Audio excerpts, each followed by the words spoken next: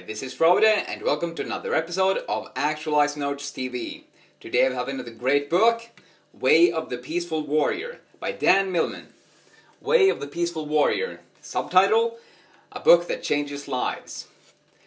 Dan Millman is a graduate at the University of California at Berkeley. After uh, becoming a world trampoline champion and a member of the Gymnastics Hall of Fame, he served as a director of gymnastics at Stanford University. He has written dozens of books, among them Sacred Journey of the Peaceful Warrior and The Life You Were Born to Live, books that have inspired millions of readers around the world.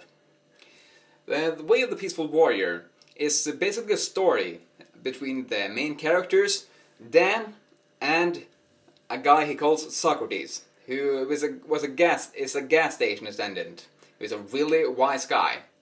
And although this book is a novel, it's got a lot of practical tips that we can apply to our own lives. Especially because um, Dan has written a lot upon the, subject of having a purpose in life. So, we got a bunch of my favorite big ideas that I'm excited to explore. Let's start with the first one knowledge versus wisdom. In the book, the character Socrates teaches us the difference between knowledge and wisdom. And the difference is that when you have knowledge about something, you understand how it works, or how it is. For example, you can sit in the um, passenger seat of a car, and you understand how you're driving a car, using the clutches and, um, and the pedals. But you really don't have the wisdom about driving a car before you realize it so knowledge is understanding, wisdom is realizing how it is. That's when you actually sit down and drive a car. You can get a feel of it. You really feel how it's done. Another example um, from my life is that before I started um, ensuring that I got 8 hours of sleep every single night, I understood, I had the knowledge that sleep is really a key to having a great mood and energy throughout the day. But I really didn't realize it, get the wisdom of it, before I actually did it and prioritized it, getting 8 hours of sleep every single night. So therefore I'm uh, curious, is there something you have the knowledge about, you understand that you should do every single day, that's good for you, but you're not doing it? Well, is it time for you to realize it and get some wisdom body wisdom, as Socrates calls it in the book? Well, the next big idea is let it go. He, um, Socrates in the book teaches then about meditation and how it um, how you can use it to cut free of your mind. And it consists of two basic steps. First step, you receive insight about your thoughts. In other words, you notice your thoughts. And the second step is you surrender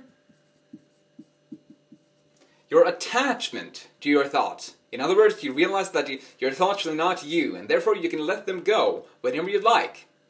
And he shares a great story to drive this point home. A Zen, um, a Zen, a meditation student, was once sitting in a deep silence among a, a group of other practitioners and terrified by a vision of blood and death and demons, he walked up to his uh, walked up and walked over to his meditation teacher and said, "Roshi, Roshi, is um, I just had a horrible, ho horrible vision," and his teacher just said, "Let it go."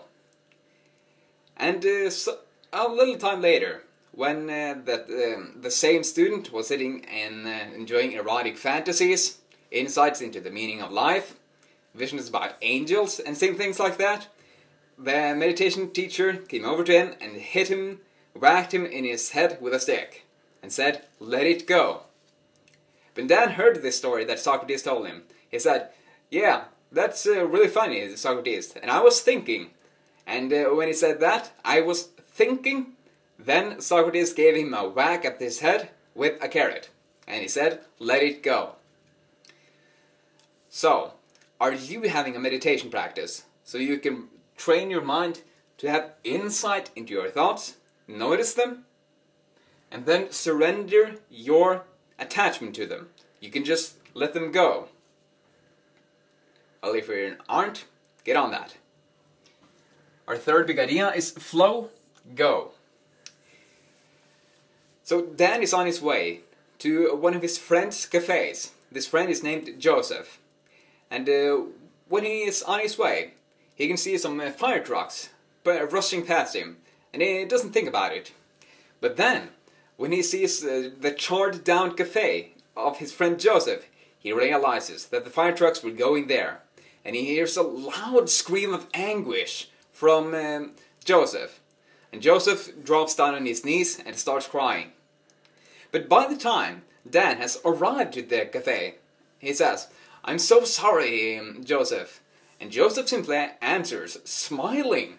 He says, Me too. And Dan can't understand why uh, Joseph is smiling when his cafe has just burned down. But then he remembered the words of Socrates, the wise old sage. He said, Let feelings flow, then let them go. So you first need to really feel into your feelings and experience it, whether it's sadness, anger, or joy, for that sake, and then you need to let them go. Don't let them distract you from doing what you need to do. For example, if somebody screams at you, your boss or your your parent, your coworkers, you can be a bit anxious about it for a few minutes. But you don't want to go around being anxious about it the rest of the day, the rest of the week, month, or year, do you? Well, then you need to let feelings flow at first and really feel them. They're, they're giving you a signal about something that you need to think about, and then let them go.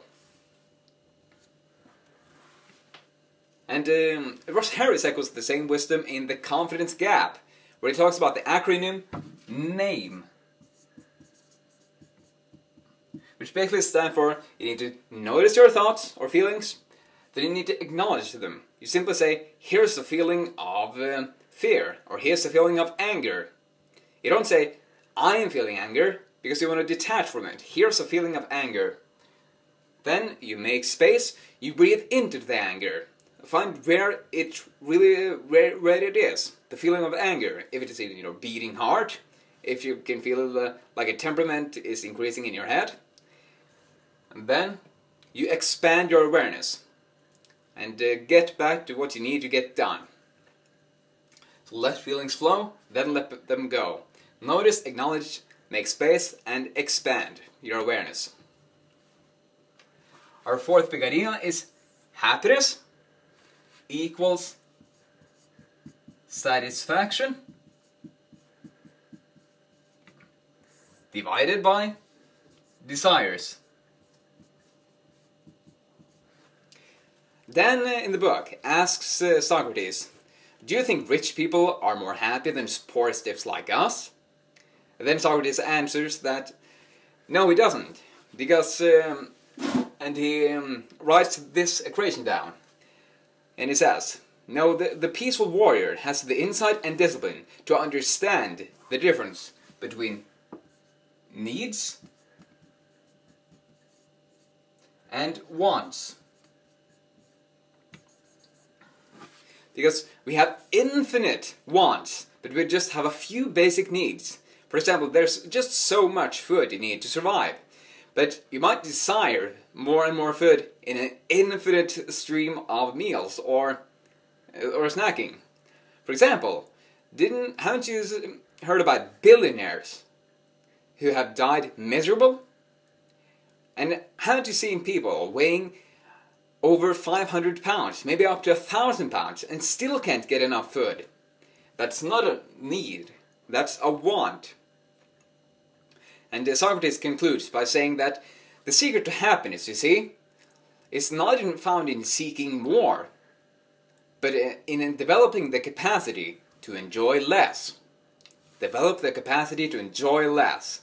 The way I do that is that at least one meal a day, and often more, then I eat no sugar or added sweetener. So there's only the pure tastes of the food left. And even though the food doesn't taste as much, I find it amazing how much I can actually enjoy a meal. Especially because I uh, like uh, feeling disciplined. So therefore I'm asking you, how can you develop your capacity to enjoy less? Yes, enjoy less.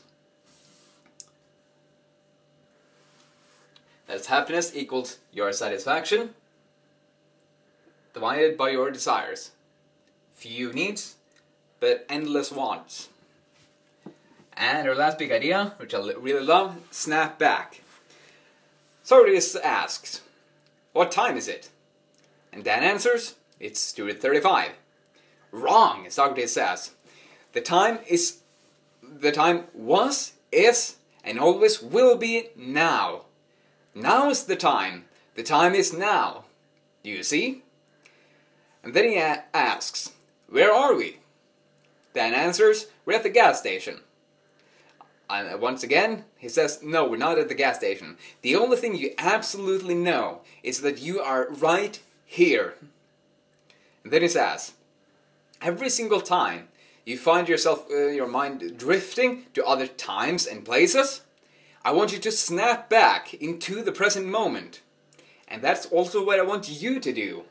Every time you find your uh, mind wandering about the laundry, what you're going to do tomorrow, something you're worrying about, something you should have said in a conversation, then snap your attention back and focus on what you're doing right here and right now. Because the present moment is the only place that we really have any power. We can't uh, do anything about the future, or we can't do anything about the past. But the only thing we can do anything about is what we'll do right now, and what we'll think about right now.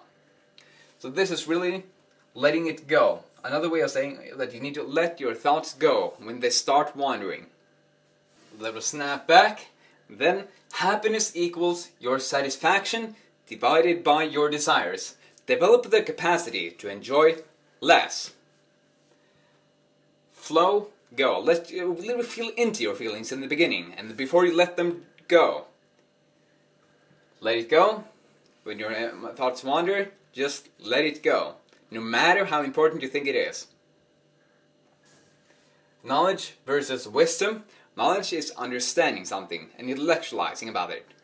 Wisdom is having done it and really feeling how it's being done. So that was a quick look at the way of the peaceful warrior. Thank you, Dan Millman. Now, what is the one idea that resonated with you? And how can you apply it to your life starting right now? Well, I hope you enjoyed this video and that you continue to actualize your potential so we can create a better world together. Thanks for watching. Have another awesome day. See ya.